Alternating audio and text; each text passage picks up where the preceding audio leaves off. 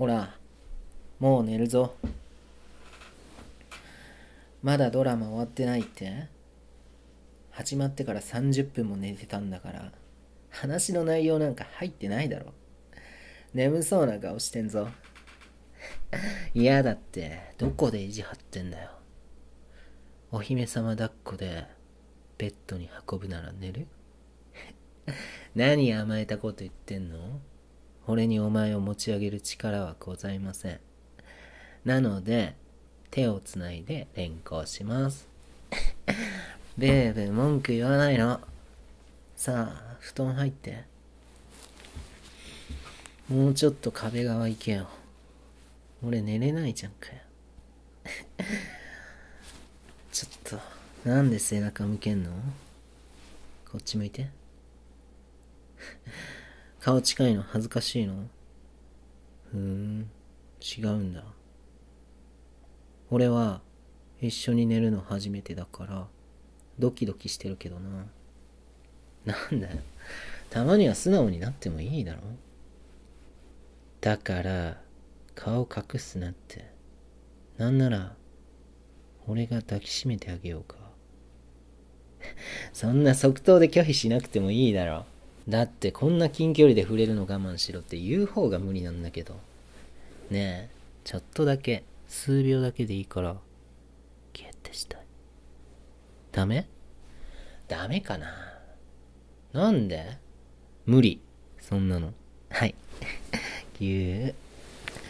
こういうのは、やったもん勝ち。どう？落ち着くでしょ？今日はこのまま抱きしめながら寝るのもありだな。ん？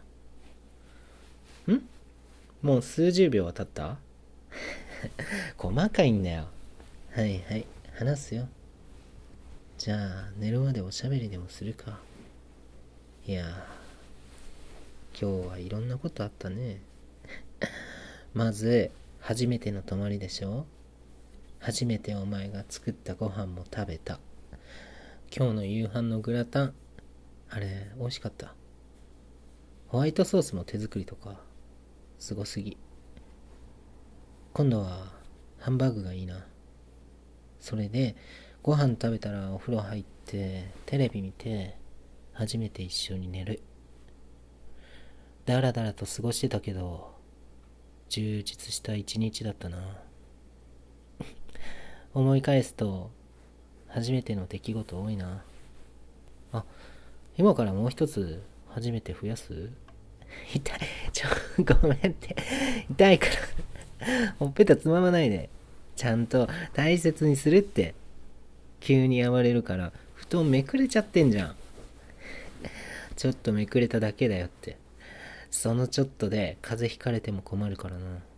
ほら、もう寝るぞ。だってこのまま喋ってたら、朝迎えそうだし。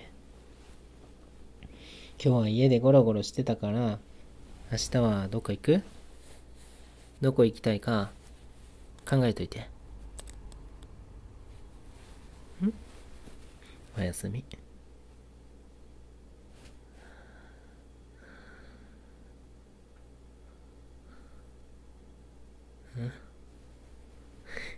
いや、響きでかすぎだろ。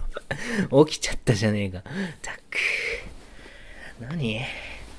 よくこんな好きな人がいるのに、ぐっすり眠れて、しかもいびきまでかいてさ、お前らしいな。